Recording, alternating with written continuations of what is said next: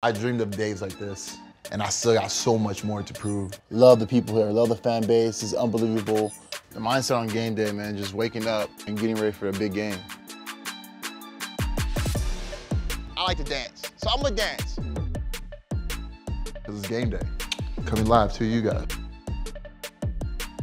A new team, new vibe, everything's new.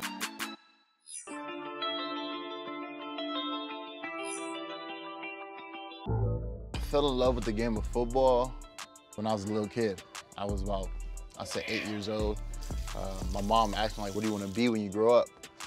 And I told my mom, I was like, mom, I want to be an NFL football player. You know, I kept my promise to, you know, live out my life and become a professional player, play in the league, take care of my family, and uh, that's right now, man. I'm just living a dream.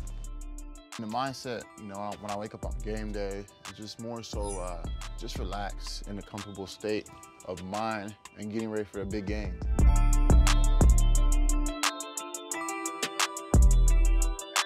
So for breakfast today, I'm making eggs, bacon, some toast.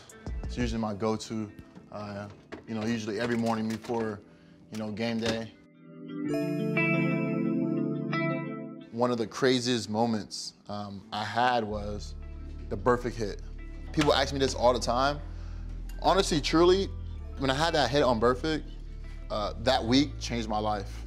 For a whole week straight, I was getting free food, everything. It was like, you know, I felt like I was like, you know, the man for about a week. And in that week time, I, I would say like, just because of one hit and one player, you know, had so much impact on that conference in AFC North football, it, it honestly was just like, it, was, it just changed my life at that point.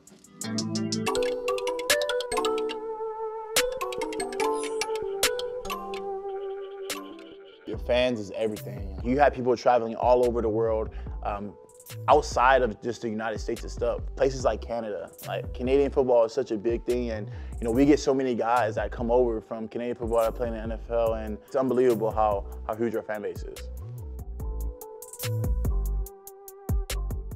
Soon as that ball snapped, I'm, t- I'm telling you, I'm a different type of dog. Being able to go from a Hall of Fame quarterback to a quarterback who's going to be, you know, one day in the Hall of Fame is actually very, very nice. And going into this regular season, it's, it's going to be a fun one. Man, y'all beware, man. We coming, man.